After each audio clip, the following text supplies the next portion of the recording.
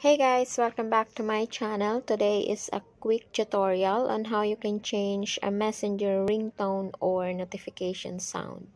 So, usapang social media tayo ngayon and if you like this content, please share it to your friends, subscribe to my channel, give a like, and comment down below kung ano man yung gusto nyong i-comment sa video na to.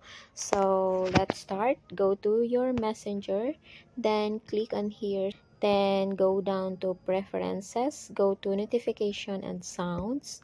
And then here makikita mo yung ringtone niya. So the default ringtone of our messenger is this one.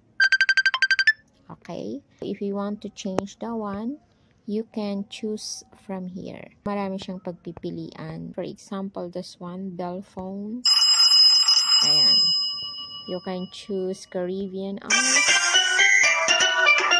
choose carousel so that's it how you can change you just need to choose from here okay so kung board na board na kayo sa messenger sa default uh, messenger ringtone natin you can change it piliin nyo lang kung ano yung gusto nyo dito.